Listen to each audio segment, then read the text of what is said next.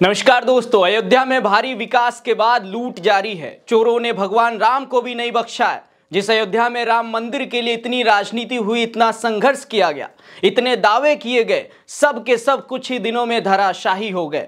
अब खबर आई है कि अयोध्या में रामलला के मंदिर की ओर जाने वाले रामपथ और भक्ति पथ पर लगाई गई 50 लाख रुपए से ज़्यादा की कीमत की 3800 बैम्बू लाइट और 36 गोबो प्रोजेक्टर लाइट चोरों ने चुरा ली हैं। दोस्तों, सबसे बड़ी बात यह है कि यह चोरी अयोध्या के सबसे महत्वपूर्ण और सुरक्षित माने जाने वाले जगह पर हुई है और पुलिस बल सहित किसी को भी इस बात की भनक तक नहीं लगी। शायद इसे ही घोर कलयुग कहा जाएगा। क्योंकि अयोध्या में राम मंदिर तो बन गया, अयोध्या धाम भी सजा दिया गया, लेकिन बीजेपी ना तो भ्रष्टाचार रोक पाई और न ही चोरों पर लगाम लगा पाई। एक तरफ़ राम मंदिर बनने के कुछ ही दिन बाद मंदिर के गर्भगृह में पानी टपकने लगता है तो अब 50 लाख की लाइटें सबके सामने से सड़क के बीच से चोरी हो जाती हैं। दोस्तों, इस चोरी पर अयोध्या के विकास पर अखिलेश यादव ने भी सरकार को खूब घेरा है। अखिलेश यादव ने ट्वीट कर कहा कि उत्तर प्रदेश अयोध्या में चोरों ने की कानून व्यवस्था की बत्ती गुल। इसलिए जनता तो पहले ही कह रही थी, बिना बिजली के खड़ा है खंबा। भाजपा सरकार मतलब अंधेर नगरी, सब तरफ़ अंधकार। अयोध्या कहे, आज का नहीं चाहिए भाजपा। दोस्तों, अखिलेश यादव ने अयोध्या के रोड लाइट जिसकी चोरी हुई है, उसका वीडियो शेयर कर उन्होंने बीजेपी सरकार पर कानून व्यवस्था पर सवाल उठाए। अखिलेश यादव ने अयोध्या में बीजेपी की करारी हार पर अपनी बातों से नमक छिड़का है और कह रहे हैं कि अब अयोध्या के लोग बीजेपी को नहीं चाह रहे हैं।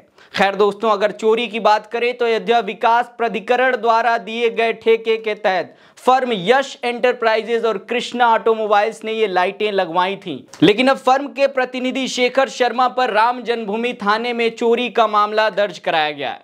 पुलिस को दी गई शिकायत के अनुसार कहा गया है कि रामपथ पर चौसठ सौ बैम्बू लाइट और भक्ति पथ पर छियानवे गोबो प्रोजेक्टर लाइट लगाई गई थी। 19 मार्च तक सभी लाइटें लग चुकी थी, लेकिन 9 मई को निरीक्षण के बाद पता चला कि कुछ लाइटें गायब हैं। जाँच में मालूम हुआ कि करीब 3800 बैम्बू लाइट और 36 गोबो प्रोजेक्टर लाइट चोरों ने चुरा ली हैं।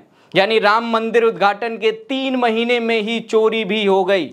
लेकिन दर्ज शिकायत के अनुसार यह स्वीकार किया गया कि फर्म को इस चोरी की जानकारी मई में हुई थी, पर मुकदमा चोरी के दो महीने बाद 9 अगस्त को दर्ज कराई गई।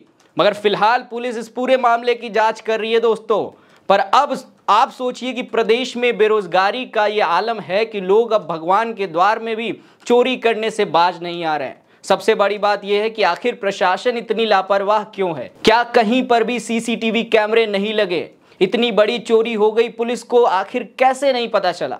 जब अयोध्या सीट भाजपा हारी थी, तब तो भाजपा आईटी सेल वाले और भक्त मंडली अयोध्या वासियों को गालियाँ दे रहे थे कि उन्होंने मोदी जी के एहसान का मान तक नहीं किया। ये कैसा एहसान है? अयोध्या तो मोदी जी टूरिस्ट प्लेस बनाने का दावा कर रहे थे, लेकिन क्या इमारतें खड़ी कर देना, मंदिर और एयरपोर्ट बनवा देना काफ़ी होगा? अगर कानून व्यवस्था ही ठीक नहीं है तो ये सब बेकार ही है। वैसे आपको क्या लगता है, अपनी राय हमें नीचे कमेंट सेक्शन में लिख कर बताइएगा। आज के लिए इस वीडियो में इतना ही। मिलते हैं अगले वीडियो में। तब तक के लिए नमस्कार।